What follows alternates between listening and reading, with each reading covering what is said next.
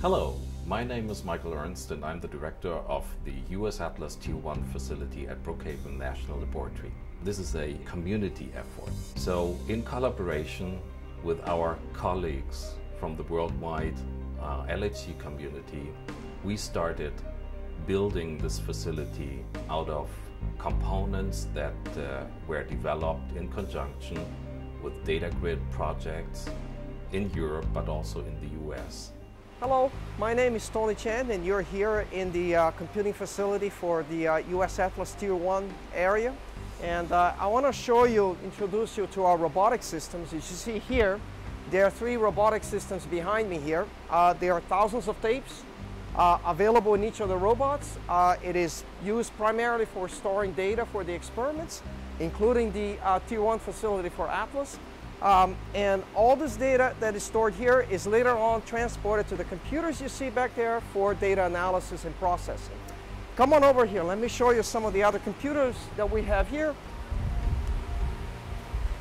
You also see in our facility how the noise level is very elevated and the reason for that is because we provided extra cooling for all the computers we have in our facility.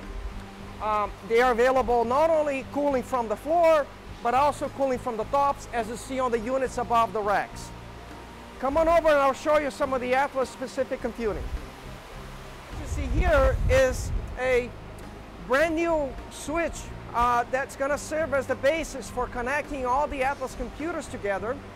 The reason this is important is because we decided to introduce a very high performance network equipment in order to meet the needs, the computing needs of the facility. My name is Ofer Rind and I'm a physicist here working at the BNL Atlas Tier 1 facility. And what you see behind me is some of our almost 3,000 CPUs dedicated to crunching the Atlas data.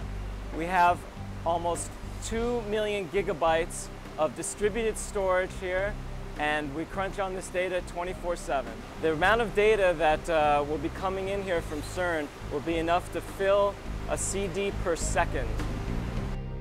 In order to meet the challenging needs of the coming years, BNL is building an addition to the uh, Brookhaven computing facility that will be ready next year to house the computing for the next six years.